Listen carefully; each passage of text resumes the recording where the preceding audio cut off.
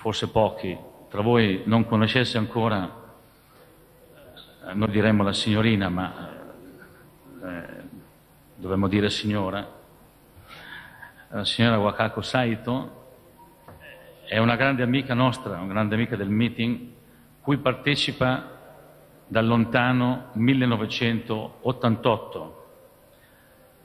E la ragione di questo incontro e di questa mh, amicizia che tuttora continua ha la sua origine in, una, in quell'avvenimento che fu nell'anno 1987 il viaggio di Don Luigi Giussani in Giappone, invitato dal Centro di Cultura Internazionale di Nagoya, città dove appunto Wakako abitava e lavorava allora e dove tuttora abita e lavora. E a seguito di quella conferenza in cui eh, Don Giussani fu invitato a parlare della novità dell'esperienza cristiana e del suo rapporto con la tradizione religiosa e culturale del buddismo, conferenza che è stata pubblicata sul mensile di Comunione e Liberazione che si chiama Tracce nel, qualche anno fa, nel maggio del 99, se non ricordo male. Al termine di questa conferenza fu invitato dalla famiglia di Wakako, da suo papà, sua mamma e da lei stessa, a trascorrere un paio di giorni presso eh, i monaci buddisti del Koya-san, o Monte Koya, come diciamo noi in italiano, che è il luogo dove il buddismo Shingon, cosiddetto, dopo ci penserà lei a spiegarcelo meglio, approdò in Giappone durante l'ottavo secolo dell'era cristiana, proveniente dalla Cina. Furono due giorni molto intensi, quelli che Don Giussani trascorse con questi monaci in un dialogo estremamente interessante che toccò tutti i temi più significativi dell'esperienza religiosa umana, la vita, la morte, l'educazione, il destino, il lavoro, l'amicizia. Frutto di quell'incontro fu l'invito che Don Giussani fece a questi monaci di partecipare al meeting di Rimini, che infatti vide l'anno seguente, nel 1988, la visita, la presenza, la visita di 12 monaci accompagnati da Wakako e da quell'inizio un'amicizia e una frequentazione che tuttora continua, anche se evidentemente in modi e forme diverse, come sempre capita in una storia tra uomini, e cioè tra libertà che si incontrano. Questo per disegnare un attimo il, il contesto per cui oggi ancora abbiamo come ospite graditissima la nostra amica che ci vuole proporre una particolarissima esperienza che ha vissuto di recente proprio al Monte Coia, tra l'altro è una località che si trova a pochi chilometri da Osaka, in una località ricca di montagne, di boschi, un luogo isolato, abbastanza isolato ancora, e presso il quale appunto ebbe inizio la tradizione buddista in Giappone 12 secoli fa. Non dico altro perché altrimenti dovrei entrare in, in particolari che non mi competono. Per ora ho esaurito il mio compito, lascio subito la parola a Wakako che ci racconterà di questa esperienza avvalendosi della sua parola, parla italiano, abbastanza corretto, usa i congiuntivi condizionali ormai meglio della maggior parte dei nostri compatrioti che essendo ormai troppo abituati a vedere la televisione dimenticano l'uso corretto della lingua. E poi come no, beh, quello c'è sempre, però il computer qui sul tavolo serve a arricchire la sua narrazione di alcune immagini che, come vedrete, saranno indispensabili allo scopo. Alla fine, siccome il tutto dura circa 30 minuti, quindi è una cosa evidentemente umana, alla fine se qualcuno avesse qualche domanda da porre, avesse qualche curiosità da soddisfare, evidentemente legittima, lo potrà fare tranquillamente. Grazie innanzitutto per la vostra cortese attenzione.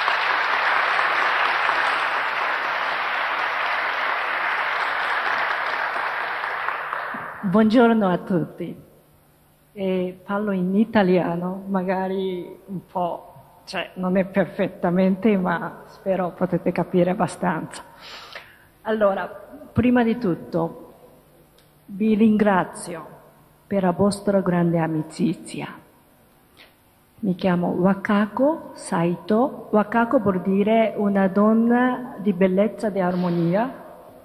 Non so se è un esempio, cioè i miei volevano essere così, cioè non è che è io un'altra magari direzione, ma comunque io mi chiamo Wakako e vengo dal Giappone. Il mio compito principale è quello di favorire un dialogo aperto tra cristiani e buddisti e anche quello di facilitare uno scambio culturale positivo, in particolare tra Italia e Giappone. Sono molto felice di essere ritornata al meeting di Rimini per incontrare tutti voi. Grazie.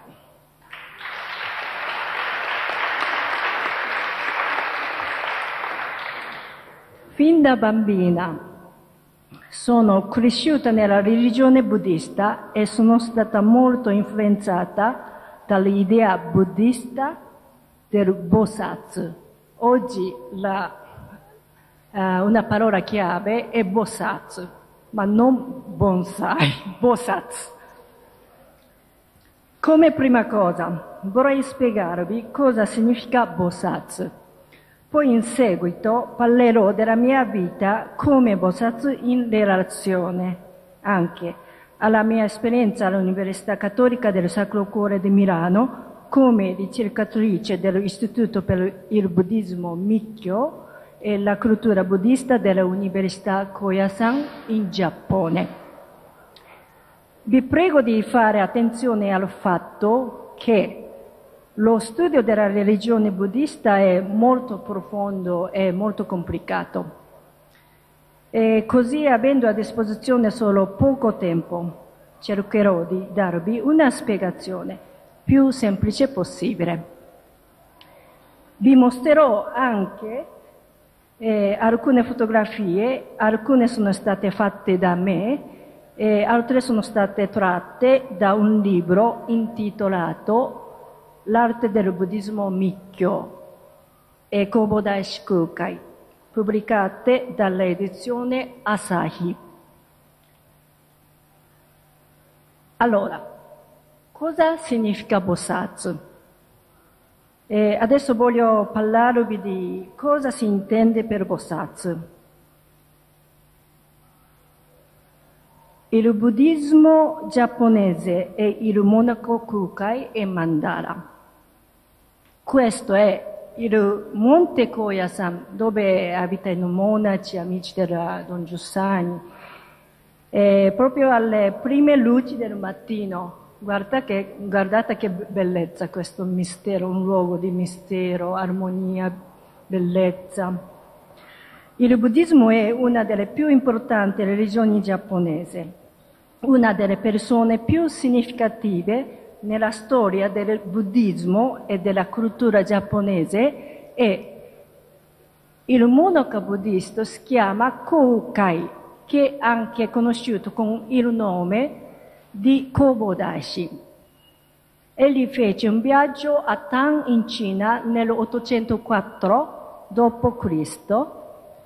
per apprendere la verità sull'universo importò in Giappone l'insegnamento del buddismo Mikkyo insieme al mandala, dopo vediamo cos'è il mandala, nell'806 d.C. Questo è il ritratto del Monokakukai, eh, che è vissuto VIII-IX secolo in Giappone. Dopo che Kukai portò il buddismo Mikkyo in Giappone, fondò la setta Shingon vuol dire la vera parola, tradu- traducendo in italiano, sul monte Koya in Giappone e dedicò la sua vita per il bene del prossimo, per l'altro, bene per l'altro. Nelle sue attività religiose egli rafforzò l'idea di sei segni Rinin, vuol dire salvare il mondo e portare benefici all'umanità. Infatti, Kukai, eh, Kukai, realizzò molti progetti nelle aree della società e dei lavori pubblici, tra cui la prima università giapponese chiamata Shugei Shichin, Accademia di Arte e la Scienze, offrendo per la prima volta un'educazione alla gente del popolo. Inoltre Kukai costruì molte opere pubbliche come strade, ponti e pozzi. Insegnò al popolo giapponese a utilizzare il carbone, eh, eh, il carbone, petrolio e diede anche un enorme contributo nel campo del controllo dei corsi d'acqua. Perciò un uomo che ha fatto anche cultura. Questa foto vi mostra il viaggio di Kukai verso la Cina con la nave. Lui è qua, vestito come un bonzo a lancio. E, come possiamo vedere, non era semplice andare in Cina in quel periodo. Sebbene Kukai si rendesse conto di un tale rischio, decise di andare lo stesso. Perché? perché voleva cercare la verità dell'universo. Questa fu veramente la sua sfida più grande. Tutta un'altra cosa, sembra, ma adesso vediamo. E questa è Madre Teresa di Calcutta. E questa grande suora cattolica disse che voleva dedicarsi alla sofferenza degli uomini come colui che serve Dio. Kukai potrebbe essere paragonato a Madre Teresa, poiché entrambi dedicarono la loro vita al servizio degli uomini con grande compassione. Perfino dopo la loro morte possiamo ancora percepire il loro amore, come se fossero ancora presenti tra noi, ora, qui. Questo è un mandala che rappresenta l'universo. Il mandala fu portato in Giappone dal monaco Kukai è un'immagine in diagramma che rappresenta l'universo con esseri divini come Buddha e i Bodhisattva, che hanno lo scopo di diventare come Buddha. È usato come aiuto nella meditazione. Nei mandala tutti gli esseri divini sono in armonia gli uni con gli altri e con l'universo. Al centro di mandala c'è, vediamo questo qua, eh, questa figura qua eh, si chiama Buddha Dainichi Nyorai, c'è è il centro di tutto. Ci sono anche quattro bosatsu, uno, due, tre, quattro bosatsu che si presentano.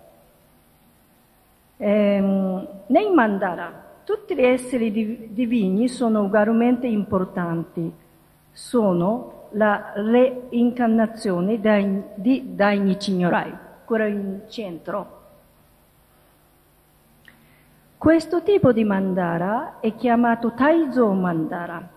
Taizo vuol dire rappresentare la creazione della verità. Taizo è paragonato al fiore di loto o al grembo di una donna. Ci sono alcune definizioni ed esempi di Bosatsu. Etimologicamente, l'origine della parola Bosatsu deriva dal Sanskrit Bodhisattva. Bodhisattva è un termine composto dalla parola sanscrita Bodhi, che significa in questo caso illuminazione del Buddha, e Sattva, che significa essere, vivere illuminato. Da noi illuminazione indica ricerca della verità, ma non scappare via dalla realtà in cui viviamo. Questo è un punto importante perché qui ho visto che magari l'idea del buddismo è tutta un'altra cosa, ma invece noi, illuminazione vuol dire indica, illuminazione indica ricerca della verità. Così Bodhisattva si riflesse sia ad una persona che sta cercando Bodhi, che significa illuminazione, sia ad un essere vivente illuminato. Nella lingua giapponese la parola bodhisattva ha lo stesso significato della parola bosatsu. Ci sono molti tipi di bosatsu. Uno di questi è il bosatsu della grande compassione, della pietà e dell'amore chiamato Kannon Bosatsu. Questo è il bordo di eh, Kannon Bosatsu.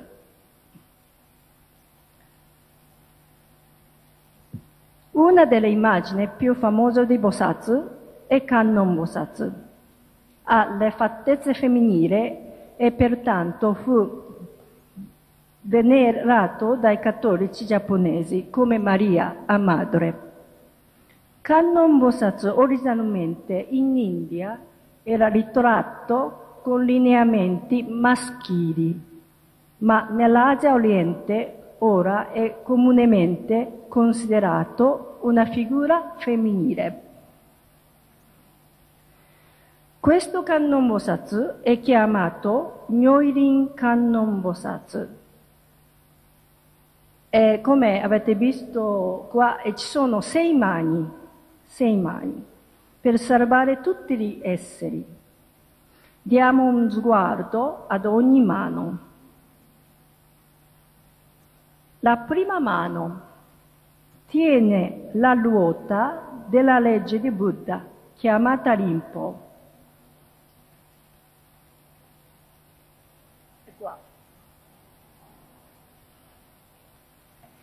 E cavalcando questa ruota, Kannon Bodhisattva in ogni luogo in cui la gente lo chiama per un bisogno. Perciò, come Don Ambrogio con sua macchina, con aereo, va dovunque aspettano gente, uguale. E lui è Bosatsu, ha detto lui. Allora, la seconda mano si, si sta riposando sulla foglia di un fiore di loto. Questo significa che Kannon Bosatsu aiuta tutte le persone del mondo.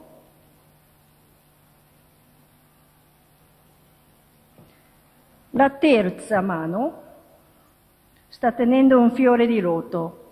Con questo fiore Kannon Bosatsu dà conforto a tutta la gente sofferente.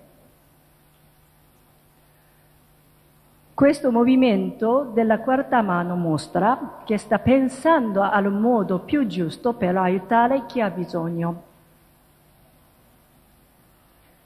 La quinta mano sta tenendo la gemma di un tesoro chiamata Nyoishu e con questo gemma Kannon Bosatsu può rispondere ad ogni desiderio. La sesta mano sta tenendo un rosario buddista chiamato Juzu, che questo rosario, con questo rosario, Kannon Bosatsu suggerisce alla gente di pregare. Ora vediamo qualcosa molto bello. Monsignor Luigi Giussani in Giappone. E mi ricordo molto bene quando nel giugno del 1987 portai Don Giussani sul Monte Coia. Egli fu eh, profondamente colpito da un'altra immagine di Kannon Bosatsu, chiamata Senju Kannon Bosatsu, poiché rappresentava un amore infinito e una grande compassione verso gli altri. Vediamo insieme questa immagine. Senju Kannon Bosatsu, come vedete, ha migliaia di mani per salvare tutte le persone e non c'è nessuno che ne sia escluso. Ognuna delle sue mani ha uno strumento diverso che serve ad aiutare in modo giusto la persona. Questo perché le modalità di aiuto dipendono dalle circostanze e dal particolare bisogno di quella determinata persona. Allora voglio citare una cosa più importante. Allora, il nostro ruolo come Bosatsu, cosa, come essere? Ho cercato di mostrarvi diversi esempi di Bosatsu. Adesso vorrei sottolineare un punto che è presente nel buddismo Mikkyo, che dice che non solo le persone importanti, ma tutte le persone che stanno cercando l'illuminazione, cioè la ricerca della verità, e sono disposte a provare, possono diventare Bosatsu. Insieme con altri Bosatsu possiamo creare l'armonia nell'universo.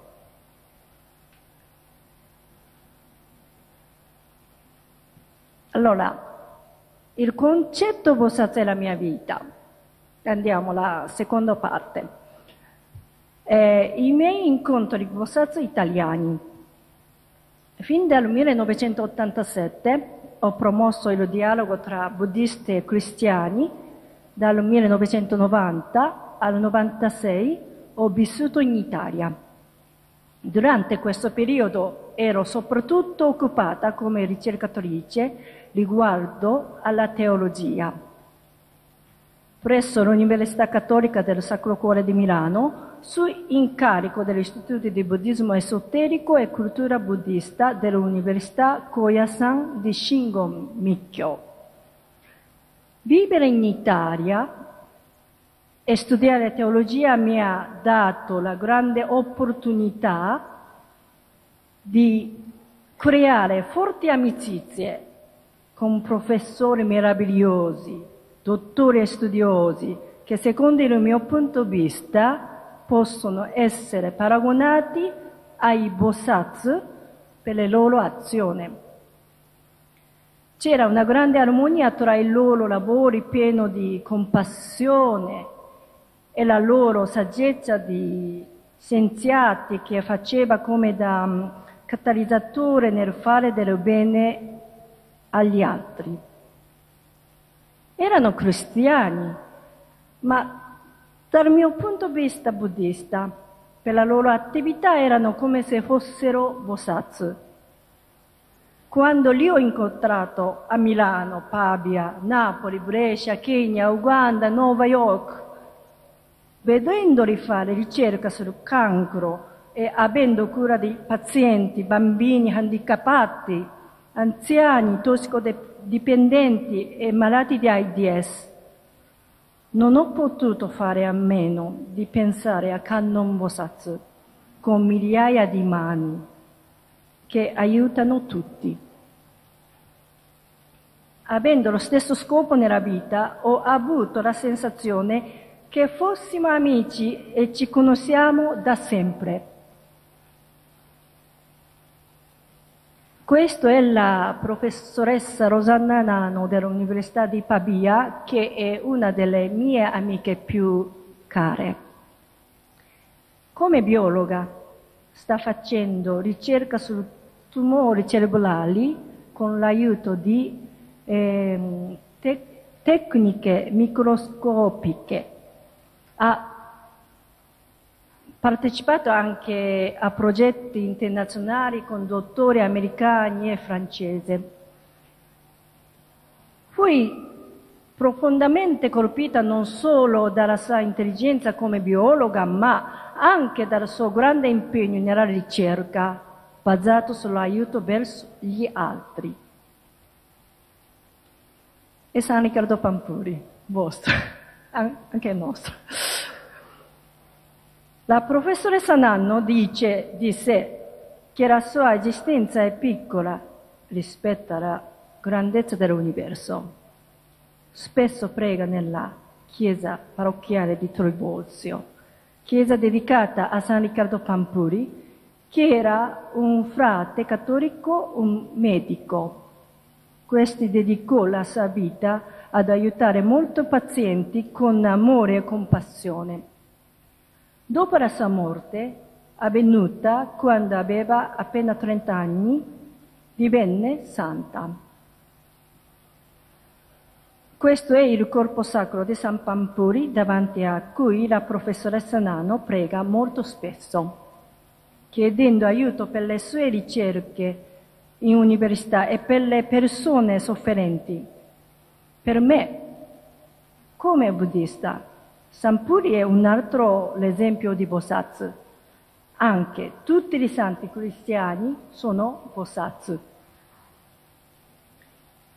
E professoressa Nano, con un uomo che aveva un cancro al cerebello che si è miracolosamente bloccato.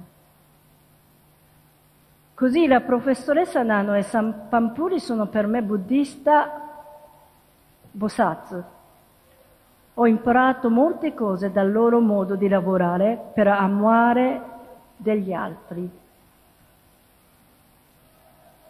Un altro esempio. La mia vita Bosatsu in Italia.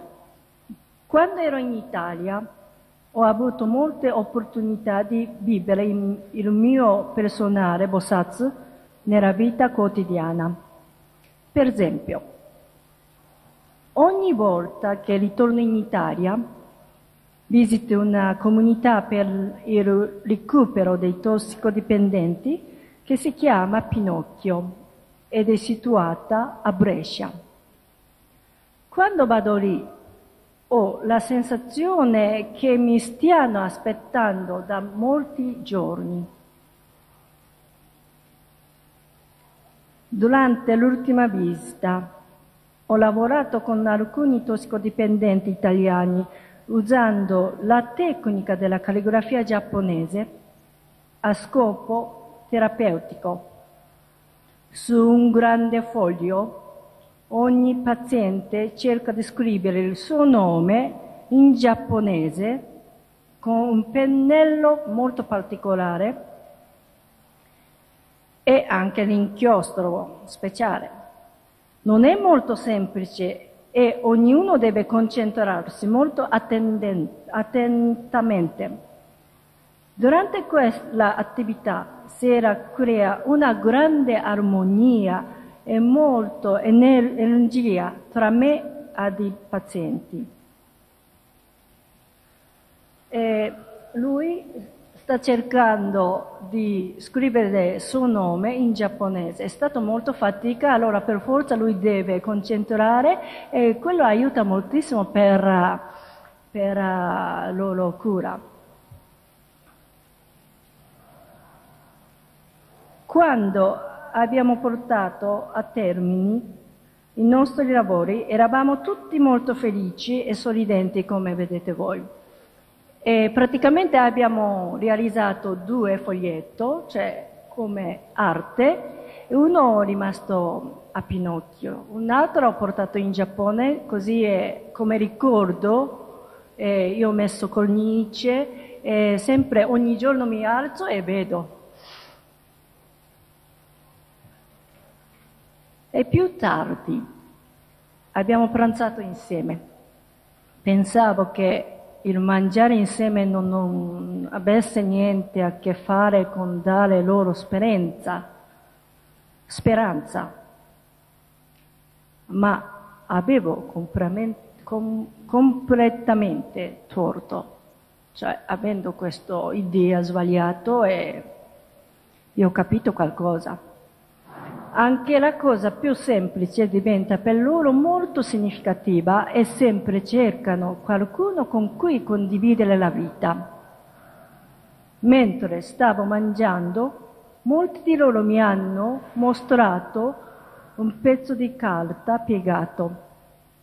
Era un origami di carta crespa di un po' logolato.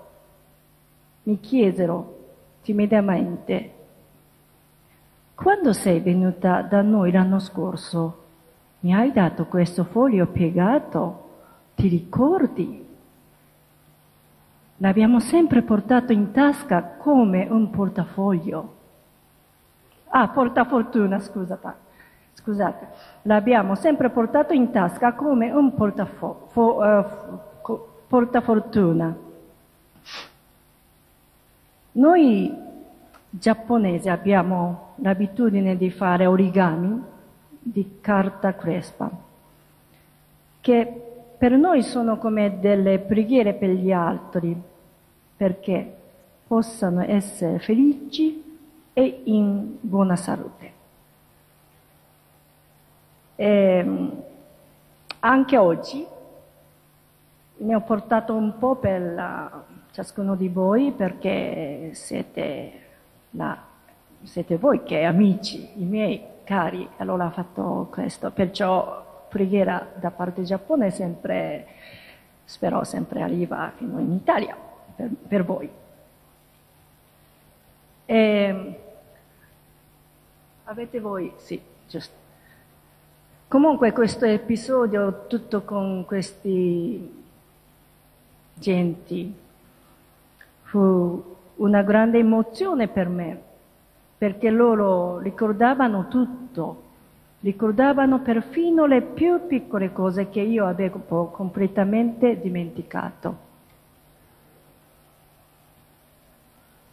La mia attività Bosatsu in Uganda. Qui sono in Uganda, Africa, per vivere la mia religione Bosatsu. Sono gruppo di bambini vicino ad un centro di cura per malati terminali di AIDS. Nel 1997 con Don Ambrogio ho visitato il Meeting Point promosso da Absia Campara per passare del tempo insieme alle persone che erano giunte al termine della loro vita. Erano malati di AIDS. Gli operatori sociali Lois e la dottoressa Luciana mi condussero gentilmente nei diversi luoghi per mostrarmi questa realtà. I bambini ugandesi erano molto sorpresi che venissi da così lontano dal Giappone.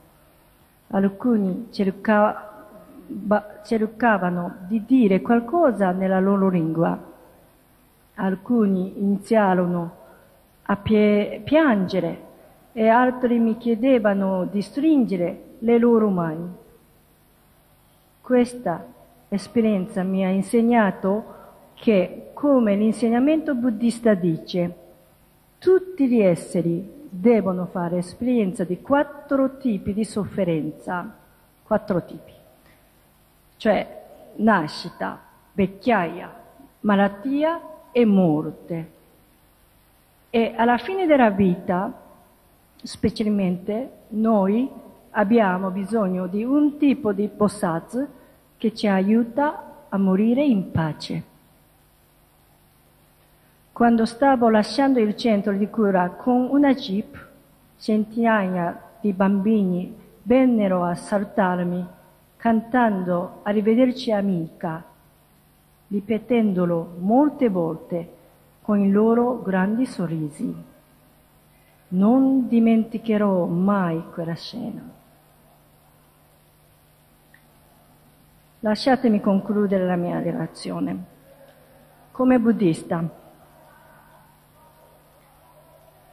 posso dire che molte personalità della storia come il monaco Kukai, che abbiamo visto prima, o Madre Teresa, possono essere guardati come Bosatsu. Anche i miei amici nel mondo che stanno lavorando per il bene degli altri sono Bosatsu. Ad esempio abbiamo visto una, l'esempio della professoressa Nano. Inoltre, anche una persona piccola come me, una piccolissima, può essere chiamato Bosatsu. Un po' vergogna però. E poi sarete anche voi tutti nella, nella mandala. Perché tutti quelli che stanno cercando l'illuminazione, cioè la ricerca della verità, possono essere Bosatsu ed essere nel mandala. Noi tutti esistiamo nell'armonia e condividiamo la stessa esperienza di vita. Sfortunatamente anche noi giapponesi non conosciamo abbastanza la nostra religione buddista. E l'idea del Bosatsu Purtroppo così. C'è un grande bisogno di una maggiore educazione e attività in questo campo, nella nostra società. Grazie all'apertura e alla disponibilità di cuore degli amici di CL, ho imparato come buddista Bosatsu come modalità educate il modo di aiutare e confrontare le persone in difficoltà. L'apertura, l'amore e la compassione stanno scomparendo nella società moderna del buddismo giappo- giapponese. Dal mio punto di vista buddista spero di poter condividere l'idea di Bosatsu con persone di altre culture e religioni, avendo il desiderio di cooperare nel fare del bene al prossimo nel rispetto reciproco della propria identità.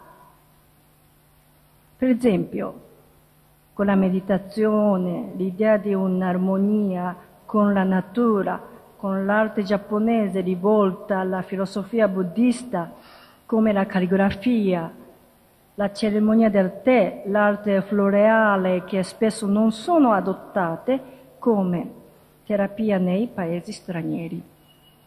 Penso che non solo la conoscenza della meravigliosa filosofia del buddismo, ma l'azione concreta nella vita quotidiana sia importante. Quando vede i fiori di loto che sbocciano meravigliosamente sulla superficie dell'acqua. Non devi dimenticare che le loro radici sono piantate nel fango. fango. La nostra vita è uguale ai fiori di loto perché ogni volta che dobbiamo affrontare un cambiamento per il nostro sviluppo soffriamo e viviamo le difficoltà delle nostre scelte. Tuttavia, avendo lo spirito di carità o spirito del Bosatsu, possiamo un giorno sbocciare come un fiore bellissimo, con una più grande saggezza e un cuore più umano. L'amicizia con voi, iniziata nel 1987, è stata per me un grande tesoro. Nel corso del terzo colloquio tra cristiani e buddisti, organizzata dal Consiglio Pontificio Pro Dialogo Interreligioso, che si è svolto a Tokyo dal 29 settembre al 3 ottobre 2002, ho accennato ai partecipanti di tutto il mondo che l'amicizia con voi cattolici è un seme di felicità per tutti gli uomini. rimaniamo sempre insieme nel cammino, condotti dal mistero nella ricerca della verità, bontà e bellezza. Incoraggiamoci a vicenda pregando insieme l'uno per l'altro e condividendo le difficoltà per poter portare pace e armonia nel mondo. Come il titolo di quest'anno del meeting dice, c'è un uomo che vuole la vita e desidera giorni felici. Vi ringrazio molto e spero di vedervi ancora il prossimo anno. Siete sempre nelle mie preghiere, grazie mille.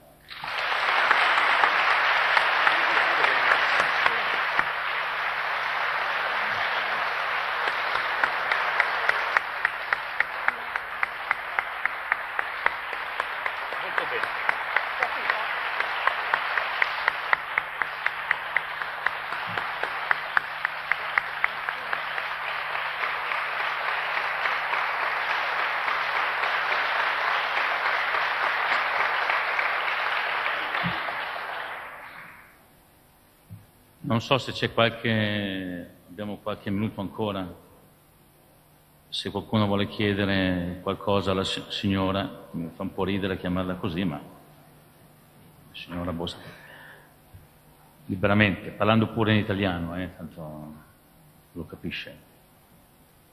Se qualcuno vuole parlare in giapponese invece rende più agevole la sua Beh, altrimenti potete accompagnarla a bere un caffè italiano eh, che gradisce molto e mm, le farete piacere. Io dico solamente una cosa, no, c'è? No. O dico una cosa molto semplice allora. C'è una domanda? Sì, prego. Aspetta, aspetta che abbiamo tutto qui, eh? Meglio che in Giappone. Avete visto la tecnologia italiana? Mm, prego. Da tanti anni il mistero dell'esistenza ci ha messo insieme nel cammino con lei e con eh, suoi, il suo maestro e i suoi maestri del Montecoia. Mm. Dopo tutti questi anni mi piacerebbe eh, sentire, sapere da te e anche eh, se lo sai quello che pensa il tuo maestro, di, tutto, di tutta l'esperienza di incontro fatto con noi, con uh, eh, CL e con un certo mondo cattolico, il punto per voi più interessante, più ardente, qual è?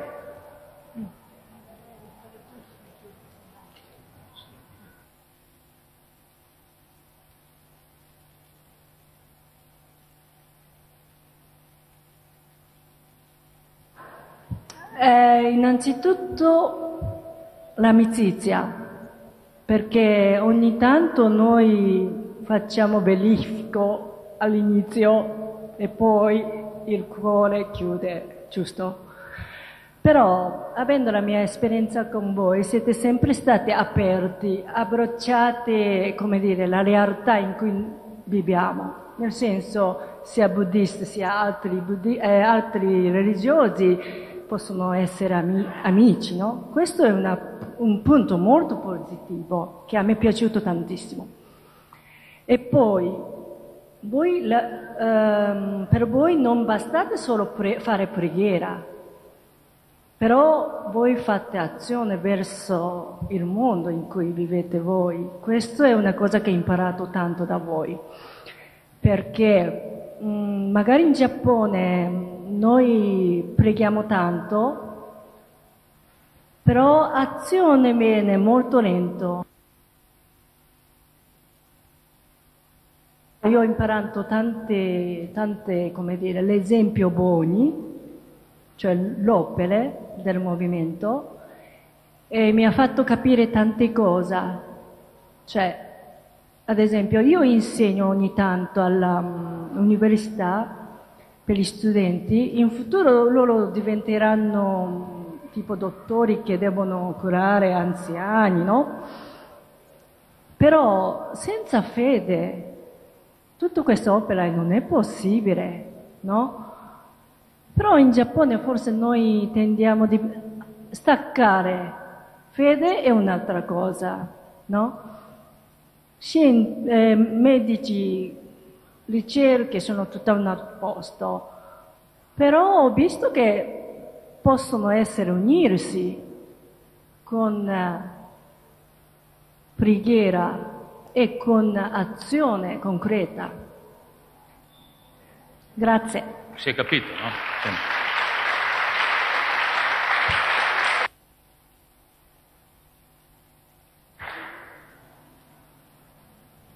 Se non c'è altro, per ora almeno sì. Padre Marco. Volevo chiedere questo. Mi ha mm, colpito, no? Il fatto che tu sei rimasta colpita dai santi. Mm.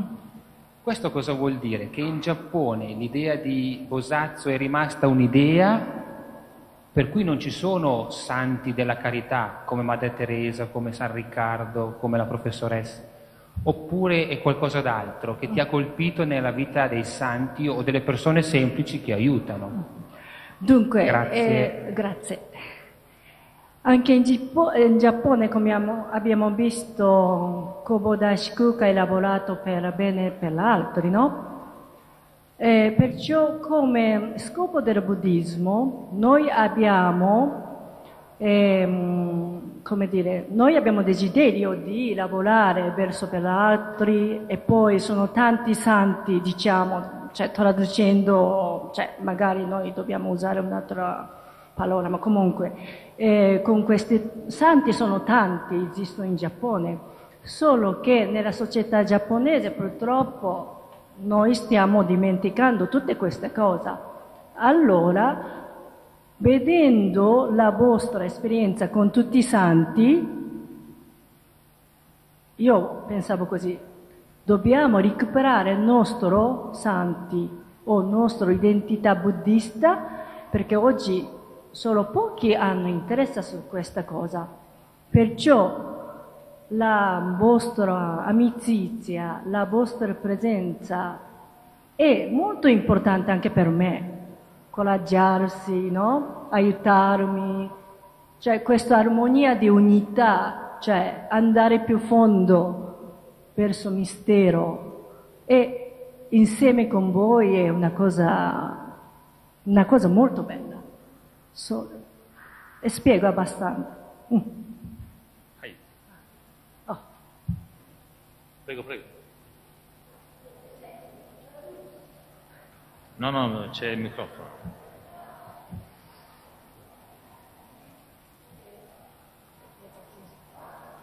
E io sono sorpresa e molto.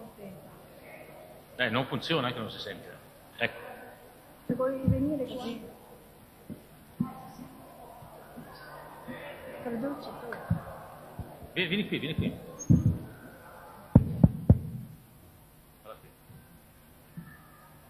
Mi, mi sono sempre chiesta, e adesso però te lo faccio proprio questa domanda, proprio per il taglio che hai dato, bellissimo, perché si chiama buddismo esoterico? Perché per noi esoterico vuol dire un po' fuori dalle cose di questo mondo. Grazie.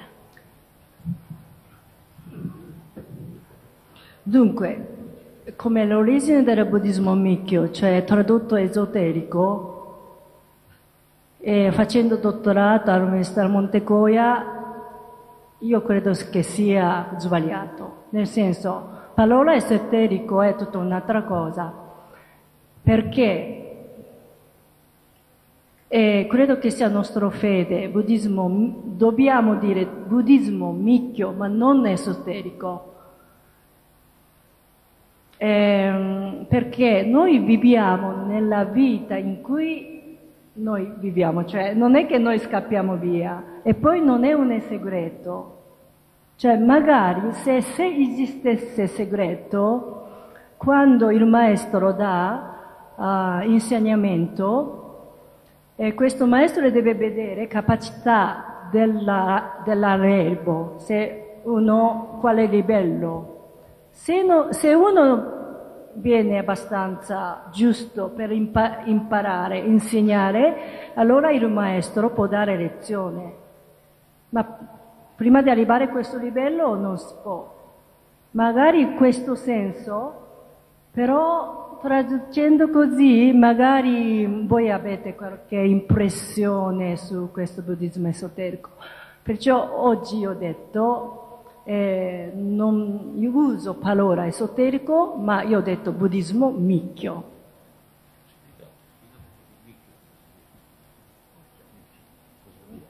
Ah, dunque, quando noi pensiamo di il buddismo giapponese, ci sono vari tipi. Ad esempio, dello zen, zen, che fanno meditazione, no? Oppure buddismo eh, Mikyo, che è l'origine in India, eh, in India, che è arrivato in Giappone insieme con eh, Kobodai Shikukai nel secolo. Eh, perciò sono vari tipi, eh, come eh, cristiani, cattol- cattolici, protestanti, ortodossi, ma però come sviluppo in buddismo giapponese è, prima è arrivato il buddismo Mikyo e poi man mano si è sviluppato e poi eh, lo Zen, eccetera. E poi ora ci sono anche movimenti nuovi, ma questo è un po' strano, cioè come punto di vista mio, nel senso un po' diverso come noi ci crediamo. Parlando ha accennato di questo processo di secolarizzazione che anche in Giappone c'è, di questo distacco dalla fede tradizionale. Ecco, questi tesori spirituali, come ci sono al Monte Coia, eh, come vanno incontro alla gente? O attendono che qualcuno li riscopra o in qualche modo cercano di ritrovare la gente? Come fanno? Dunque, ehm, nella vita quotidiana del giapponese noi sempre mh, lavoriamo troppo, diciamo che non c'è proprio spazio, no? Allora come si fa? Loro vanno ai templi per pregare, ad esempio sabato e domenica, no? Dalla Osaka prendono macchina e poi arrivano a questo monte sacro e si fermano, pregano con i monaci eh, oppure ogni, nella città, ogni città eh, ci sono templi piccoli che vanno lì e pregano, eh, ma purtroppo, come dire, mh, mm, mh, mm, formalità viene prima, cioè tipo mh, mm, preghiera di mattino oppure, um, oppure cerimonia di fu- funerare sono prima cosa, e poi dopo altre attività. Si è, si è capito? Cioè, no. Posso tentare, parlo io in cinese così si capisce meglio. no, no. no, anche per la conoscenza che ho della loro esperienza. Lei sta dicendo che purtroppo oggi l'esperienza religiosa buddista è sempre più lontana dalla vita quotidiana della gente, anche perché i ritmi di lavoro e di occupazione quotidiana raggiungono ormai da tanto tempo in questo Paese livelli che grazie a Dio qui in Italia non ci sono, almeno ancora non ci sono.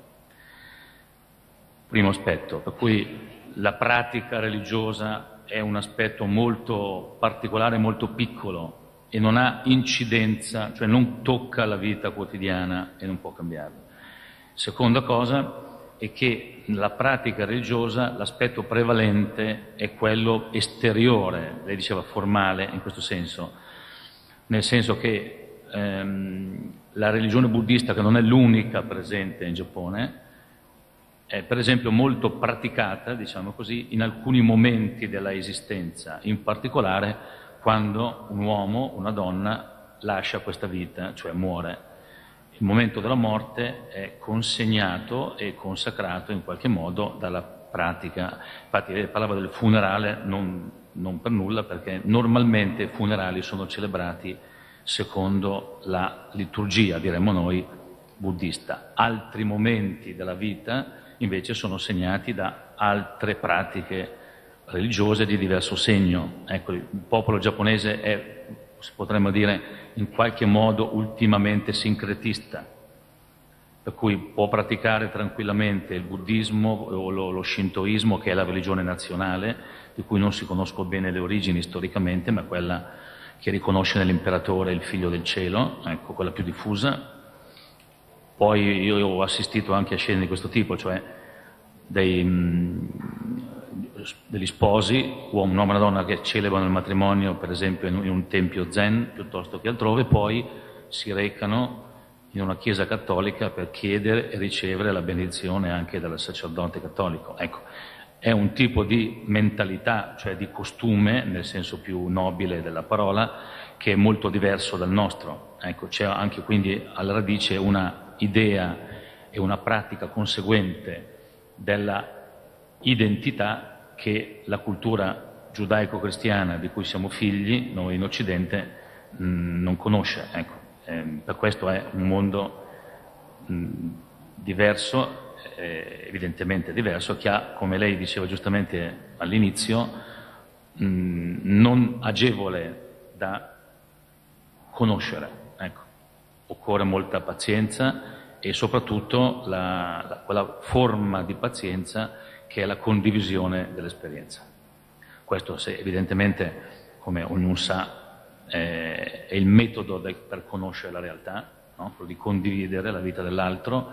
Se questo richiede evidentemente una grande pazienza, una grande attenzione, quindi una grande educazione per poter riconoscere e accettare l'altro, per poterne condividere l'esperienza, possiamo ben immaginare come questo compito sia enormemente più eh, grande e drammatico e difficile con una cultura, con un mondo così diversi dal nostro. Ma... Ecco, per esempio, qui c'è padre Alberto che è appena tornato da diversi anni di missione in Giappone e che ah.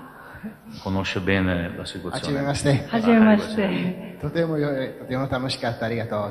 Speak in Italian, please now. No, volevo chiedere, eh, mi ha colpito eh, l'incontro di oggi perché tu hai parlato del, no, del Bosazzo, no? E hai parlato appunto di, eh, di questa gioia che c'è no? dentro in, questa, eh, eh, in, questo cammino. eh. Di solito, generalmente, quando si parla di buddismo, eh, si parla di, di nirvana, no? E quindi, di, no? quindi come se, se, tutte il, come dire, se tutta la, la, nostra felicità fosse in, in questo luogo quasi irraggiungibile. No? Ecco, in, quindi ecco, mi ha colpito molto questo fatto, per cui ecco, la, la, la, felicità è come dentro in questi passi no? che già si fanno. Però mi rimane sempre la domanda, no? appunto, tu che vivi questa, questa fede, no, beh, già, fe, già, il termine fede, un, che vivi questa esperienza buddista, ecco, il, il, come dire, cosa, cosa dà in, in più il, il nirvana rispetto a, a, questo cammino? Cosa, che differenza c'è?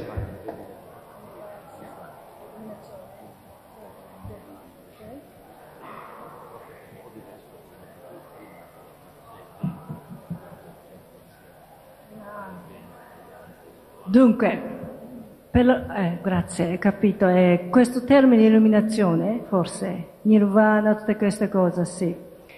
Dunque, come abbiamo visto, come Kuka ha elaborato per, la, per l'altri, non bastano solo io che diventiamo grande, no? Oppure fuggiamo dalla realtà no? in cui noi viviamo.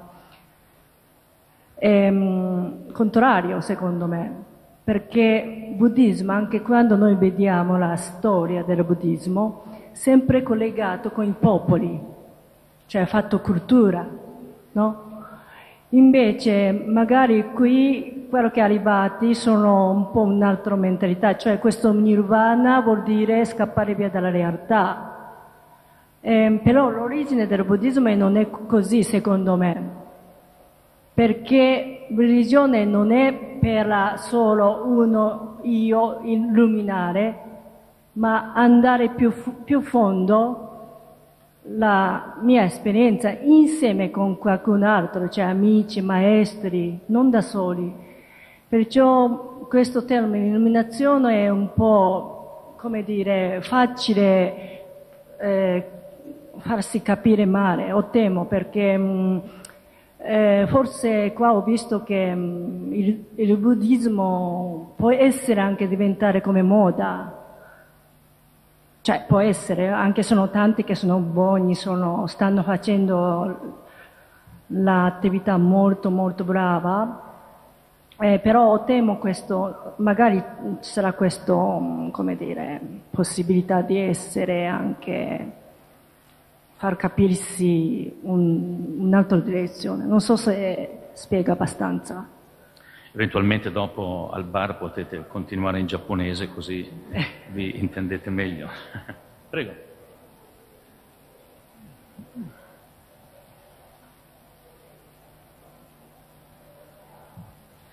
Volevo chiederti che cosa vuol dire essere alla ricerca della verità.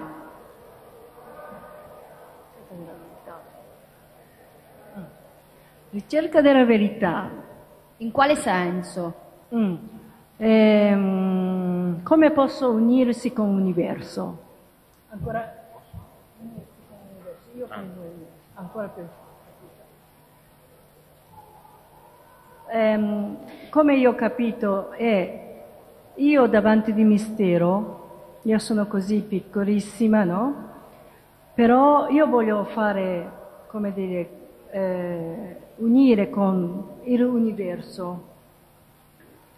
Allora, facendo questa unità, io man mano comincio a capire che cosa faccio io in futuro, quale metodo, ma questo anche rispetto a quello che hai fatto vedere, l'aiuto al prossimo per la sofferenza, anche in quel senso lì intendi tu oppure no?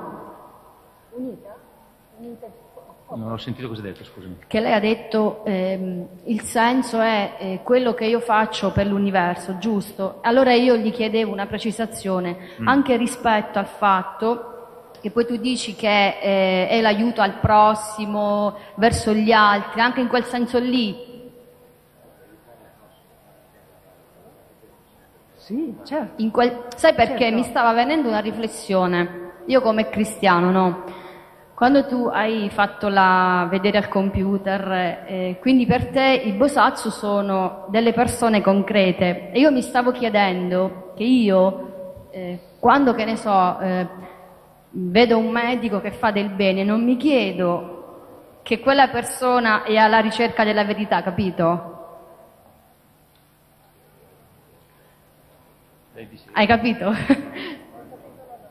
Non ha capito, ma formula solo la domanda, in modo più semplice è, possibile. È una riflessione che io stavo facendo eh mentre tu proiettavi e mettevi ai lati eh, i vari bosatsu, fra parentesi, il medico, ci hai messo te, ci hai messo la dottoressa e poi non mi ricordo... Maria Teresa, eccetera, ah, eccetera. Okay.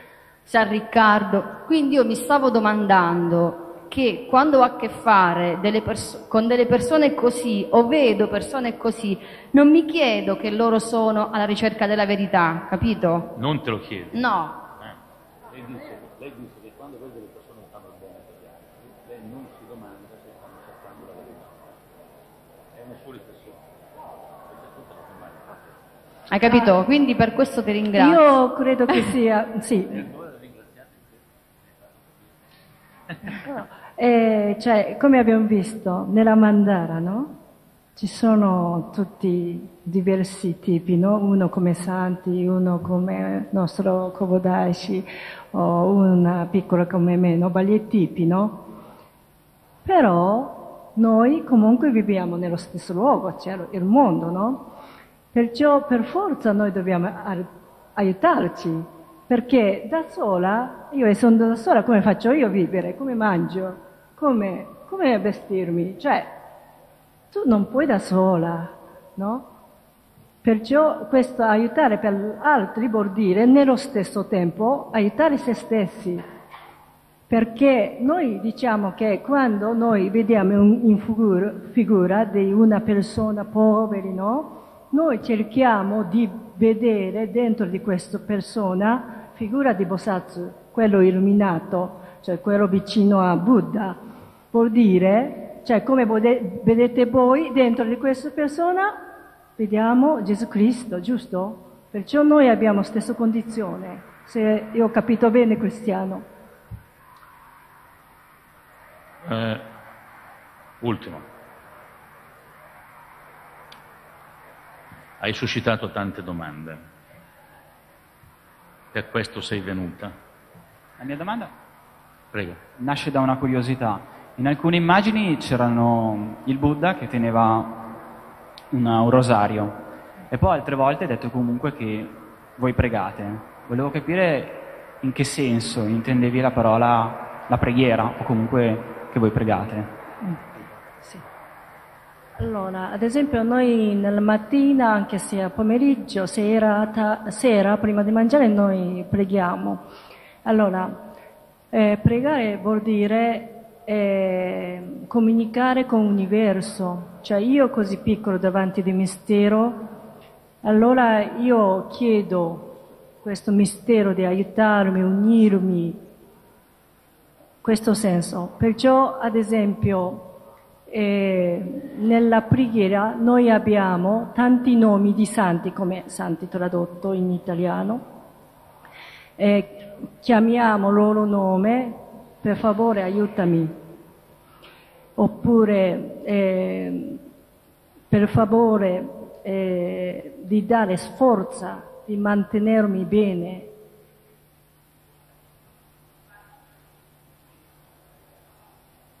Sì, certo.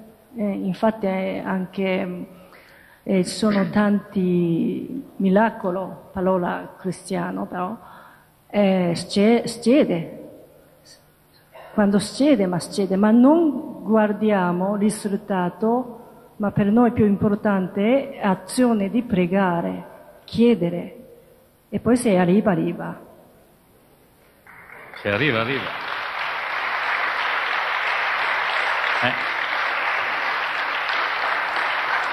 Allora, concludendo questa, mh, questo incontro con la nostra amica Vocaco, forse qualcuno di voi ieri mattina ha partecipato in auditorium ehm, all'incontro che ha visto accadere eh, le testimonianze del nostro amico rabbino Brodman, del professor Kleibo, musulmano, e del eh, dottor Cesana, di Giancarlo Cesana.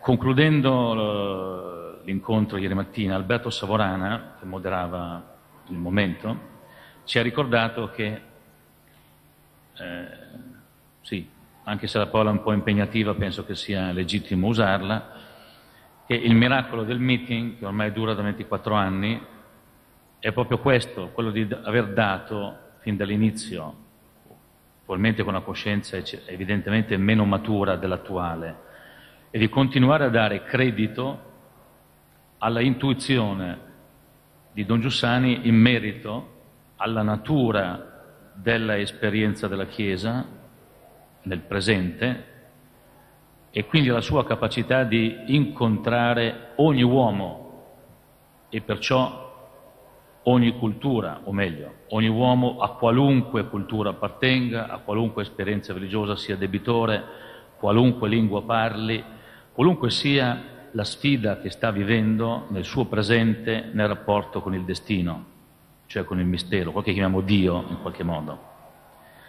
E questa intuizione che chiama lì ecumenismo, che in questi anni è maturata, e vuol dire la capacità di incontrare chiunque non nonostante la propria identità cristiana, ma proprio grazie ad essa. E il meeting anche quest'anno si sta rivelando un luogo in cui questo sta accadendo. Allora noi possiamo, con tutta legittimità, accogliere e innanzitutto ringraziare Wakako di questa fedeltà, perché eh, sapete, essere fedeli nel nostro mondo è sempre più difficile, soprattutto quando ci si incontra non tutti i giorni, ma è il segno che questa amicizia non viene da noi, ma viene dal cielo, innanzitutto. E poi perché incontrando e incontrando questa es- eh, esperienza possiamo continuare a vivere della intuizione iniziale che Don Giussani ebbe nell'87 passando questi momenti al Monte Coia, cioè rimase colpito, e in questi anni più volte parlandone l'ha confermato, del fatto che il buddismo portato da Kobodaishi in Giappone, che oggi si chiama appunto buddismo Shingon, non è innanzitutto, come viene inteso normalmente il buddismo nella vulgata occidentale, cioè nell'opinione corrente nell'Occidente, non è innanzitutto una fuga dalla realtà. Quando lei l'ha accennato all'inizio, non so se avete colto, ma Kobodaishi, tornato in Giappone, è, me- è diventato un maestro per il popolo. È stato il primo a fondare l'università in Giappone, gratis e aperta a tutti. Quindi un uomo che ha questa genialità capisce che il problema della vita è innanzitutto l'educazione del popolo. La prima università in Giappone è stata da lui fondata, questa Accademia delle Arti e delle Scienze, ed era gratuita e aperta a tutti, in un mondo che invece era rigidamente diviso in caste e che quindi non permetteva l'accesso facile e praticabile all'istruzione per tutti. Quindi questo aspetto dell'educazione e della operosità dentro la realtà. Ecco.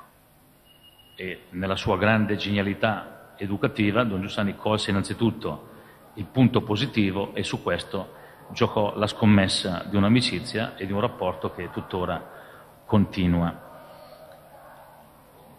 Concludendo, credo che la, cosa più interessante e più importante sia, oltre al ringraziamento a te, quello di accorgerci, di riconoscere che anche l'incontro di oggi ci mette di fronte alla sfida dell'educazione, perché è vero che è importante la compassione per l'altro, ma a maggior ragione quando l'azione ha la forma della compassione dell'altro e della condivisione della sua vita, nasce più urgente e irrepetibile, irrevocabile la domanda sulla verità. Perché proprio quando faccio mi devo domandare, ma se quel che faccio non è vero, che ne è allora di me? Per questo la libertà che si gioca nell'azione non può mai essere separata dal suo nesso originario, non posto da noi, ma originario con la verità.